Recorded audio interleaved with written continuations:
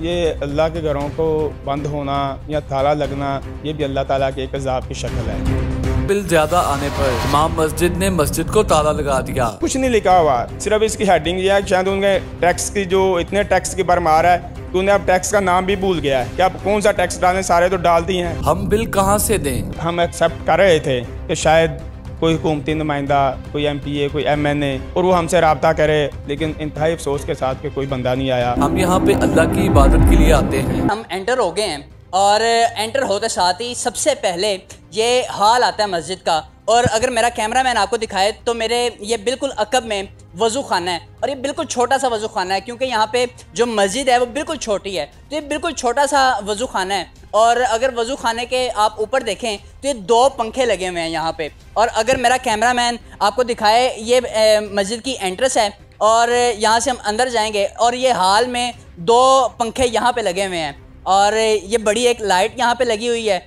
और ये चार पंखे ये हाल के अंदर लगे हुए हैं। अंदर एंटर होते हैं। नाजिन, मस्जिद के अंदर एंटर हो गए हैं। और, अगर मेरा कैमरा मैन आपको दिखाए तो दो एसी इस तरफ़ लगे हुए हैं। और दो एसी इस तरफ़ लगे हुए हैं। मतलब इस मस्जिद में टोटल चार एसी लगाए गए हैं और तकरीबन एक दर्जन के करीब पंखे हैं यहाँ पे, जो यहाँ पे जब नमाजी आते हैं तो पंखे इस्तेमाल होते हैं एसी इस्तेमाल होते हैं। जिसकी वजह से इस मस्जिद का बिल जो है, वो छियासठ हज़ार रुपये आया है और एहतजाजन इस मस्जिद को ताले लगा दिए गए थे।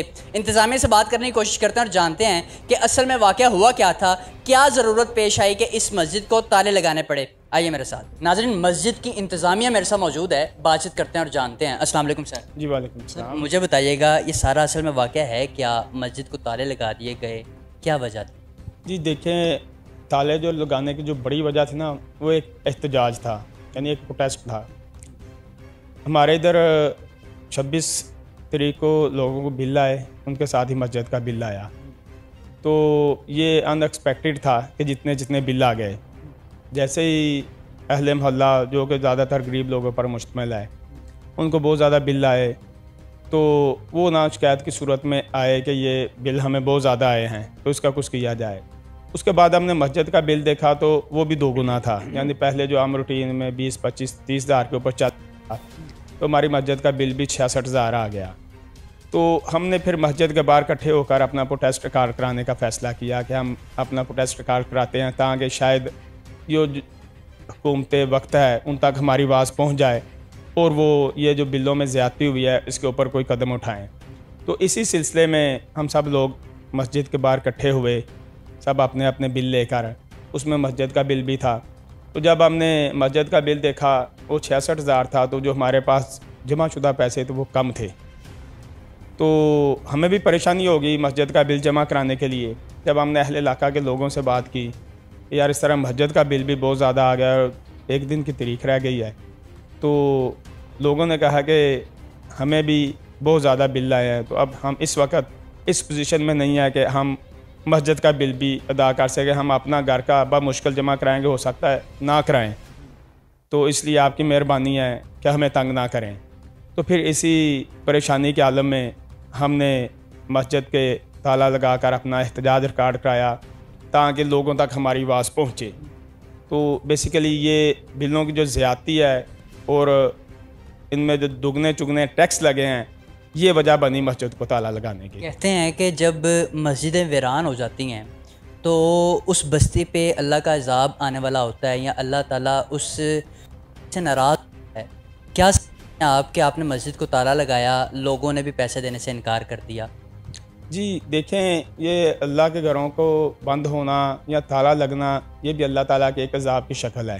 क्योंकि जब ये क़्यामत के करीब ये ना, ये सारे वाक़ात होंगे, जब मसाजिद जो हैं वो बंद हो जाएँगी, कुरान पाक उठा लिया जाएगा और ये सारे मामला क़्यामत के हैं। लेकिन जो सूरत हाल अब बन गई है या जितना बिलों की होश और इजाफा हो चुका है तो मेरे ख्याल में ये क़्यामत की निशानियों में से एक निशानी जो है ना, ये हुकूमत वक़्त ने बना दिया लोगों के लिए।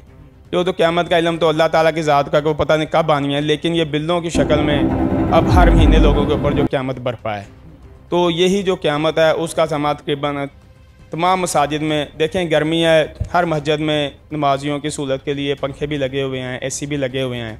इस मस्जिद में क्या क्या चलता है जब नमाजी यहाँ पे आते हैं? देखें मस्जिद में बवक्त ज़रूरत जब नमाज़ का वक़्त होता है उससे कोई पाँच मिनट पहले जो मस्जिद का मौजन होते हैं, जो ज़ुम्मेदारान होते हैं, वो आके तीन चार पंखे चलाते हैं और एक एसी और एक चिलर चला देते हैं ताकि थोड़ी सी मस्जिद में ठंडी हो जाए। तो इसी दौरान अजान होती है, अजान के ठीक पंद्रह मिनट बाद जमात खड़ी हो जाती है। दस पंद्रह मिनट का दुरानिया जमात का होता है। तो ओवरऑल आधा घंटा या आप इसे पौना घंटा कर लें, सिर्फ़ इतनी बत्ती इस्तेमाल होती है और अगर इसका पूरे दिन का जो इसका आप दुरानिया निकालें आधा पौना घंटे का तो ढाई से तीन घंटे जो है ना ओवरऑल पूरे दिन में मस्जिद में लाइट इस्तेमाल होती है। तो आप खुद अंदाज़ा कर लेंगे ढाई से तीन घंटे में सारे दिन में कितनी लाइट इस्तेमाल हो सकती है। मुझे बताइएगा छियासठ हज़ार रुपया बिल आया है तो इसमें टीवी टैक्स भी शामिल किया गया है। क्या मसाजिद में टीवी भी चलते हैं? देखिए मैं आपको दिखाता हूँ इसमें जो टैक्सेस की भरमार है इसमें सबसे पहले मसूल बिजली है साढ़े आठ सौ रुपये टेलीविज़न की फ़ीस है ये मेरे ख्याल में पैंतीस रुपये है। ठीक है मस्जिद में पैंतीस सौ रुपये हाँ जी पैंतीस सौ। ये मस्जिद में तो नहीं चलता। है उसके बाद जनरल सेल टैक्स है वो है पैंसठ सौ अट्ठासी रुपये यानी कि छः हज़ार पाँच सौ अट्ठासी रुपये जनरल सेल टैक्स है।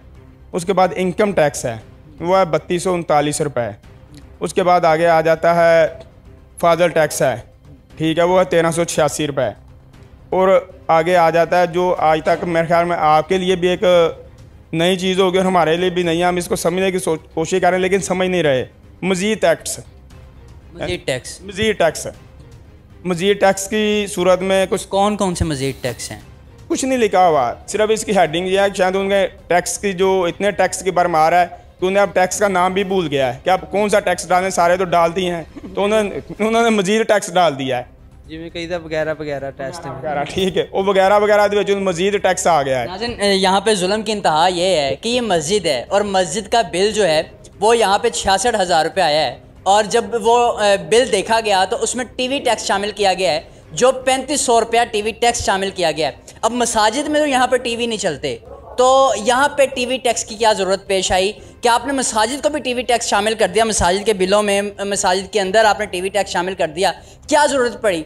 ये अल्लाह को, अल्लाह के अजाब को आवाज़ देने की यहाँ पे बात हो रही है कि अगर आप मसाजिद को भी यहाँ पे टीवी टैक्स देंगे, क्या मसाजिद में तो फ़िल्में नहीं चलती? मसाजिद में तो इबादत होती है। मसाजिद में तो यहाँ पे ड्रामे नहीं देखे जाते। मसाजिद में तो लोग आते हैं, नमाज़ अदा करते हैं। लोग यहाँ पे आते हैं, कुरान पाक की तिलावत करते हैं। लेकिन यहाँ पे टीवी टैक्स शामिल कर देना एक सवालिया निशान है हमारी हुकूमत के ऊपर। सर, मुझे बताइएगा कि जब ये वीडियो वायरल हुई तो किसी हुकूमती अहदेदारान ने आपसे रबता किया? ये अल्लाह के घर में खड़े हैं, झूठ बोलने की ज़रूरत नहीं है। और ये भी इंतहाई अफसोस की बात है कि ये वीडियो वायरल हुई और आग की तरह फैली। हमें भी इसका अंदाज़ा नहीं था कि ये इतनी ज़्यादा वायरल होगी। लेकिन, इसके बाद हम एक्सेप्ट कर रहे थे कि शायद कोई हुकूमती नुमाइंदा, कोई एम पी ए कोई एम एन ए उनका कोई बंदा या उनके तवसल से कोई बंदा आए और वो हमसे रबता करे और हमसे पूछे, जी, आपका मसला क्या है? या शायद ऊपर से जो मुतलका एस डी ओ है वापडा का, उसको कोई फ़ोन आ जाए, वो अपने को बंदे भेजे, यार, जाएँ, ये मस्जिद का मसला क्या है? पता करें। लेकिन इंतहाई अफसोस के साथ कि कोई बंदा नहीं आया। और आपके लिए भी शायद ये हैरान कन हो कि ये जो हल्का है, ये एन एक सौ उन्नीस है। इससे मरियम नवाज़ पहले एम एन ए का इलेक्शन जीती। उन्होंने ये सीट छोड़ दी क्योंकि वज़ी अला पंजाब मुंतखब होगी उसके बाद यहाँ से अली परवेज़ मलक, वो मंतखब हुए बारीक सरीत से। और इस इलाके से, कोटली गाजी से मरियम नवाज़ भी जीती, अली परवेज़ मलक भी जीता। और अली परवेज़ मलक इस वक्त जो पावर डिवीज़न है यानी जिसको हम वापडा कहते हैं उसके वफाकी वज़ीर हैं। तो कम अज़ कम उन्हें अपने हल्के की ये आवाज़ तो सुननी चाहिए थी। ठीक है? तो अपने हल्के की आवाज़ सुन के अपने जो उनकी ये हल्का है यहाँ इनकी दाद रसी के लिए ही किसी को छोटा सा भी फ़ोन कर देते ना तो शायद हमारी मस्जिद के साथ साथ दीगर मसाजिद के लिए भी आसानी पैदा हो जाती। लेकिन अफसोस के साथ कि ऐसा नहीं हुआ। नाजिन मस्जिद की इंतज़ामिया मेरे साथ मौजूद थी। आपने देखा कि जब सोशल मीडिया पे वीडियो वायरल हुई इस मस्जिद की कि मस्जिद को ताले लगा दिए गए हैं, लोगों ने तनकीद का निशाना बनाना शुरू कर दिया कि मस्जिद को ताला क्यों लगाया गया? आप लोगों से पैसे इकट्ठे करते, आप किसी हुकूमती अहदेदारान से रबता करते कि वो यहाँ पर आते, और मस्जिद का बिल जो है उस पर आपकी मुआवनत करते, आपकी मदद करते, उसे कम करवाने में या मस्जिद का बिल मुआफ़ कर दिया जाता, लेकिन ऐसा नहीं किया गया। जो वीडियो सोशल मीडिया पे वायरल हो रही है, जो बाबा जी यहाँ पे वीडियो बना रहे थे, वो एहतजाजन वीडियो, उन्होंने वीडियो बनाई और वो फिर वहाँ, यहाँ से चले गए, डर गए कि कोई यहाँ पे आएगा और मेरे पे सवाल उठाएगा कि तुमने ये वीडियो क्यों बनाई? वो यहाँ से चले गए। वो उनका कोई यहाँ पे नामो नज़र नहीं आ रहा, वो यहाँ पे नहीं मौजूद हैं। वो डर के यहाँ से चले गए हैं। और आपको मस्जिद की सारी मैंने सूरत हाल दिखाई कि यहाँ पे क्या क्या चीज़ यूज़ होती है, पंखे किस टाइम यूज़ होते हैं, कितने पंखे लगे हुए हैं, कितने एसी लगे हुए हैं, या यहाँ पे और कौन कौन सी एशिया यहाँ पे मौजूद हैं जो इलेक्ट्रिसिटी बिल जो है जिस पे आ सकता है। आपको मैंने तमाम तर चीज़ें दिखाई, इसी के साथ अपने मेज़बान मुजाहिद हुसैन को इजाज़त दीजिए और देखते रहिए पी एस पी के जी डिजिटल अल्लाह ने के बाद इस तरह की और वीडियोस देखने के लिए सब्सक्राइब कीजिए हमारा चैनल और देखते रहिए पी एस पी के जी डिजिटल उसके बाद आगे आ जाता है फादर टैक्स है। ठीक है वो है तेरह सौ छियासी रुपये और आगे आ जाता है जो आज तक मेरे ख्याल में आपके लिए भी एक नई चीज़ होगी और हमारे लिए भी नहीं है हम इसको समझने की कोशिश करें लेकिन समझ नहीं रहे। मज़ीद टैक्स। मजीद टैक्स। मज़ीद टैक्स। मज़ीद टैक्स की सूरत में कुछ कौन कौन से मजीद टैक्स हैं? कुछ नहीं लिखा हुआ सिर्फ़ इसकी हेडिंग यह है शायद उनके टैक्स की जो इतने टैक्स की भरमार है कि उन्हें अब टैक्स का नाम भी भूल गया है कि आप कौन सा टैक्स डालें सारे तो डाल दिए हैं तो उन्होंने उन्होंने मजीद टैक्स डाल दिया है ਜਿਵੇਂ ਕਹੀਦਾ ਵਗੈਰਾ ਵਗੈਰਾ ਟੈਸਟ वगैरह ठीक है वो वगैरह वगैरह ਦੇ ਵਿੱਚ मजीद टैक्स आ गया है नाज़िन यहाँ पे जुल्म की इंतहा ये है कि ये मस्जिद है और मस्जिद का बिल जो है वो यहाँ पे छियासठ हज़ार रुपये आया है और जब वो अ, बिल देखा गया तो उसमें टीवी टैक्स शामिल किया गया है जो पैंतीस सौ रुपया टीवी टैक्स शामिल किया गया है अब मसाजिद में तो यहाँ पे टीवी नहीं चलते तो यहाँ पे टीवी टैक्स की क्या ज़रूरत पेश आई? कि आपने मसाजिद को भी टीवी टैक्स शामिल कर दिया? मसाजिद के बिलों में, मसाजिद के अंदर आपने टीवी टैक्स शामिल कर दिया। क्या ज़रूरत पड़ी?